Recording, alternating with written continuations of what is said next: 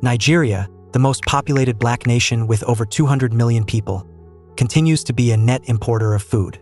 Despite its vast arable lands, the country relies heavily on the northern region for food and has turned the southern region dependent on survival. Due to the predominance of small-scale and traditional farming practices, coupled with limited innovation and education among those engaged in agriculture, the majority operate at a subsistence level.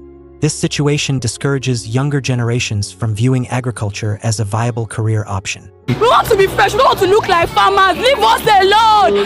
SARS, go away! Consequently, Nigeria faces escalating challenges such as food inflation, food insecurity, unemployment, and hunger.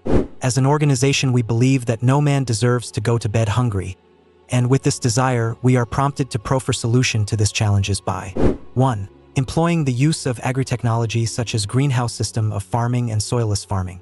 2. Training of youth through the Learn, Work and Earn initiative. Over the past year, the Learn, Work and Earn initiative has successfully engaged 100 youth corps members, providing them with essential practical equipment, expert trainers to develop proficiency in practical agriculture and entrepreneurial skills. Thus, by training the youths, there will be an increase in the agricultural workforce across all agricultural value chains.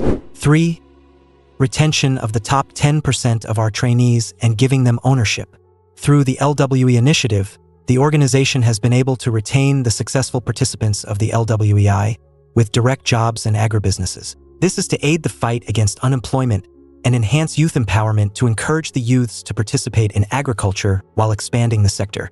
Fuente Farm Limited is making a positive impact in the agricultural sector and the nation at large by the training of over 100 youths over the last few years. Provision of employment, contribution to food sufficiency, supporting the locals with some of the basic amenities like water and a good road network. We have found a model that works, and our vision is to create a network of skilled agripreneurs and agricultural businesses that positively impact the economy and society. Train and empower 2,000 youth corps members annually through the LWE program, establish sustainable farming operations, create and support at least 100 agricultural businesses every year over a period of five years, contribute to reducing food insecurity and unemployment in Nigeria.